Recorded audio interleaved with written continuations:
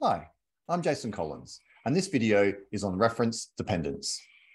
Under prospect theory, people assess choices based on a reference point, as opposed to an absolute assessment of their position. Outcomes are coded as losses and gains relative to that reference point. Consider the following two scenarios. Scenario one, you have not checked your share portfolio in a while. You expect it to be worth around $40,000. Today, when you check, it is worth $30,000. Do you feel rich or poor?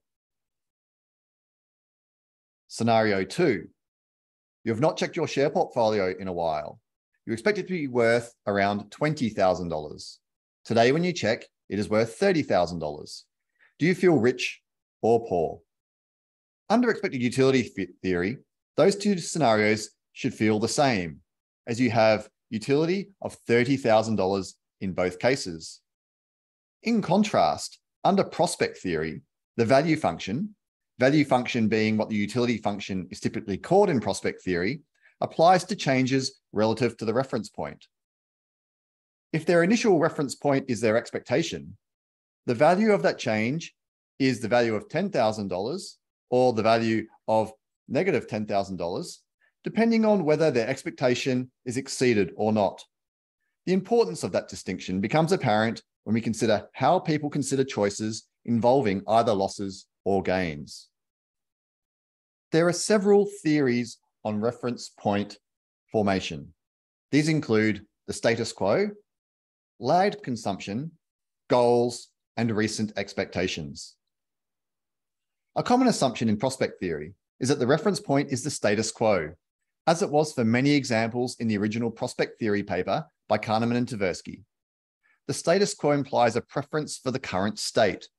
Any negative change is perceived as a loss. The status quo appears straightforward and is a reasonable description in many contexts, such as lab experiments. However, the status quo as a reference point does not appear to be a useful assumption for describing many economic interactions. Suppose you decide to sell your bike. Do you see the foregoing of the bike as a loss? Suppose you decide to buy a bike. Do you see the foregoing of the money as a loss? What if you run a bike shop? Does every sale involve a feeling of loss? For markets in which intangible and fungible goods are exchanged, for example, the stock market, the status quo assumption appears a poor fit. A second theory is that the reference point is lagged consumption. Imagine you win the lottery. How do you feel one week after the draw? How do you feel one year after the draw?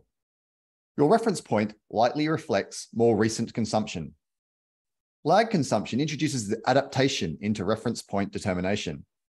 First, we react to shocks. Then the effect of the shock fades in time. Another theory is that our goals are our reference points. Consider the following problem from Heath and friends. Sally and Trish both follow workout plans that usually involve 25 sit-ups. One day, Sally sets a goal of performing 31 sit-ups. She finds herself very tired after performing 35 sit-ups and stops. Trish sets a goal of performing 39 sit-ups she finds herself very tired after performing 35 sit ups and stops. What emotion is each person experiencing? With goals as reference points, people see success or failure to achieve a goal as a loss or gain. Although both Sally and Trish have the same performance, Sally will have a positive emotional reaction and Trish a negative reaction. A fourth theory of reference point determination is recent expectations.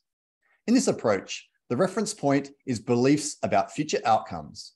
For example, a 5% pay rise when expecting a 10% pay rise may be perceived as a loss.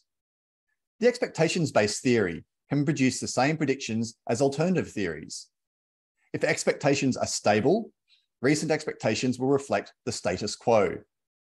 Recent consumption will shape expectations making lagged consumption a reasonable reference point. Goals can also shape or be shaped by expectations.